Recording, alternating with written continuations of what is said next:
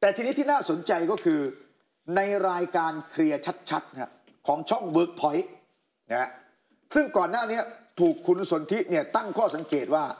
โอ้โหเนี่ยให้น็อตเนี่ยให้คุณน็อตเนี่ยไปมาออกรายการชี้แจงแก้ต่างค่ะไปแสดงวิสัยทัศน์นะอืมแต่ล่าสุดเนี่ยในรายการนี้ คุณอั๋นเนี่ยก็เลยเชิญเอ่อสันทนะมาฮะค่ะนี่แล้วสันทนะแฉฮะเนี่ยเดี๋ยวดูภาพบางส่วนที่ ข้อมูลที่เขาเอาไปโชว์ในรายการนะนี่ที่นอทสลากพลัสบอกว่าเอ่อเจอเอ็ดดี้เอ็ดดี้เนี่ยแค่ครั้งเดียว ไม่ได้สนิทสนมอะไรกันมากนะฮะแต่สันธนะเนี่ยเอาภาพมาให้ดู ในภาพนี้เนี่ยคือเจ้าตัวกับเอ็ดดี้แล้วก็เอ็ดดี้กับน้องของเขาน้องของเอ็ดดี้เองนะนี่สันธนะเนี่ยเอาไปโชว์ แล้วเขาก็โชว์ภาพนะฮะ อันนี้คือเอ่อเอ็ดดี้กับ O1 A1 นะฮะค่ะแล้วก็หลังจากนั้นมีอีกภาพหนึ่งนี่สมัยก่อนเวลาเอ่อสังสรรค์เวลาพบปะเจอกันนะที่วงกลมเนี่ยนะนี่ก็ไปอยู่ก็สะท้อนว่ารู้จักกันเจอกันมากกว่าหนึ่งครั้งหรือเปล่านะฮะแล้วตอนไปต่างประเทศนะฮะนี่อันนี้สันทนาก็เอามาชี้ให้ดูนี่ดูค่ะถัดไปทีนี้นะ คือคนไหนนะฮะนี่อ่าก็มีน็อตกับเอ็ดดี้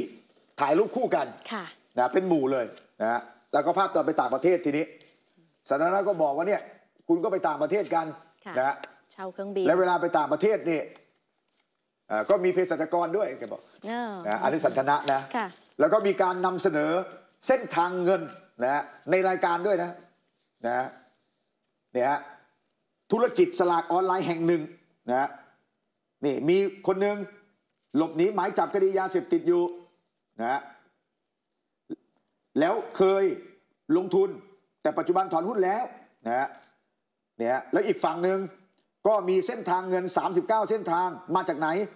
บางส่วนเนี่ยก็มาจากบัญชีม้านะฮะบัญชีม้าของใครก็เชื่อมโยงกับธุรกิจสีเทาดำเห็นไหมฮะ อันนี้เป็นข้อมูลจากสันทนะ ธุรกิจสลากออนไลน์นะฮะแต่เขาก็ไม่ระบุว่าเจ้าไหนนะค่ะ แต่ประเด็นที่น่าสนใจคือหลังจากเนี้ยเรื่องเส้นทางเงินที่ท็อปดิวเรานำเสนอไปเนี่ยนั่นนะคือยืนยันได้ว่าอธิบดีดีไอก่อนที่จะถูกเด้งไปเนี่ยบอกว่าใน 39 เส้นเงินที่ต้องชี้แจงเพิ่ม ที่น็อตสลากพัดต้องชี้แจงเพิ่มเนี่ย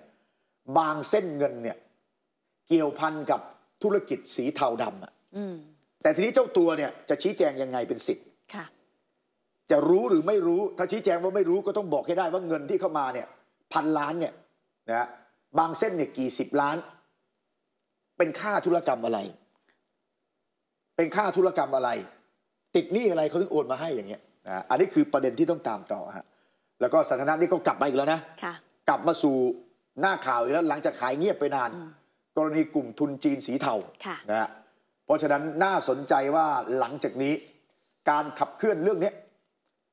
สันทนะประเด็นที่เขาพุ่งเนี่ยก็คือเรื่องคดีฟอกเงินเลยอะนะฮะแล้วก็ไปยื่นข้อมูลให้ดีไซน์แล้วด้วยวันก่อนค่ะไม่รู้เป็นชุดข้อมูลเดียวกัน กับที่เอาไปออกในรายการคุณอั๋นด้วยเปล่าค่ะนะเพราะฉะนั้นนี่คือคดีที่เราต้องตามกันต่อนะฮะ